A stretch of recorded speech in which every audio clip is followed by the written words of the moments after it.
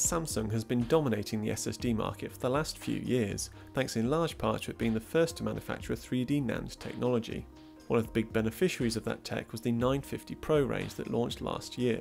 Incredibly fast yet tiny and coming with a 10 year warranty, they've been pretty much the de facto SSD choice for enthusiast PC builds ever since. Well, not anymore. Samsung has just launched the 960 Pro and it takes performance to another level, and comes in much larger capacities too. The new drives look largely identical to the 950 Pro and just about any other M.2 SSD.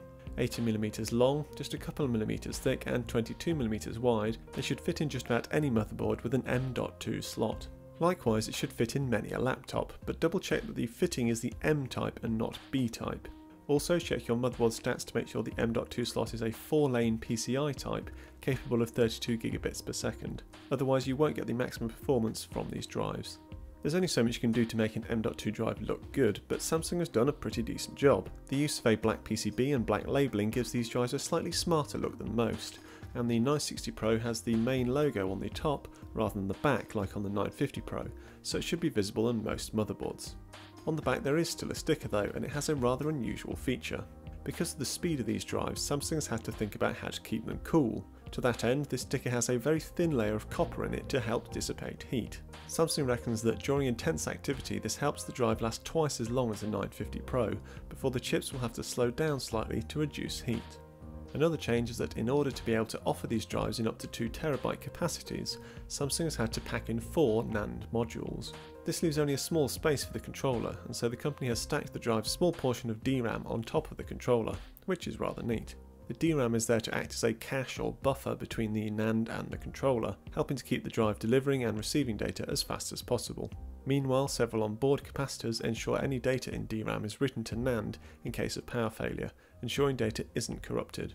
The controller itself is called Polaris, but Samsung hasn't revealed much about it except to say it's a 5 core design as opposed to the 3 core design of the 950 Pro's controller. As for the NAND, it's Samsung's latest 48 layer 3D NAND, up from the 32 layer process used in the 950 Pro. To recap, 3D NAND is where each wafer of silicon has a number of layers of memory cells formed on top of each other, as opposed to the traditional production method where all the memory cells would be in one layer.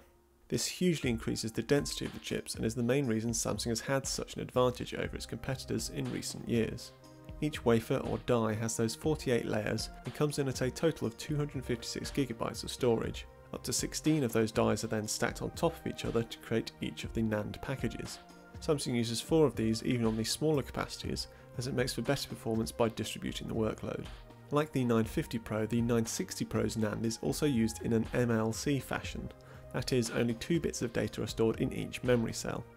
That's as opposed to TLC NAND, which uses three bits. TLC allows for much greater data density, but is much slower to write to, so various tricks are used to increase short-term write speed. With MLC though, write performance is consistent. All of which brings us to the speeds and feeds. So the 960 Pro will be available in 512GB, 1TB and 2TB versions, which is a big leap up from the 256GB and 512GB options of the 950 Pro. Also taking a big jump up is performance. Sequential read and write performance has risen by 40%. Random read performance has also leapt by a similar amount, while random write speeds have tripled. And to cut a long story short, those figures hold up under testing. I encountered a few anomalous results, but at least in part some of that is to do with these drives being so fast, some benchmarks like Crystal Disk Mark simply can't keep up while it only takes a small blip elsewhere in the PC to slow reported speeds down. How does that translate to real world performance? Well, boot times and game load times are improved, but it will feel like a subtle difference if you've already got a very fast NVMe drive. 40% is a decent jump in read speeds, but it's nothing compared to the 400% increase you get moving from a SATA SSD to an NVMe drive. And that brings us to the two potential issues with these drives. The first is price. While the 512GB version is actually slightly cheaper than the 512GB 950 Pro was at launch, it's still a lot of money, and without a 256GB option, it means many buyers will no longer be able to afford a Pro drive. Thankfully Samsung is soon to release a 960 EVO drive, and it offers performance that should actually beat the 950 Pro in most scenarios, so it should make for an ideal budget option. However it is TLC based, so some users will still pine for a Pro drive.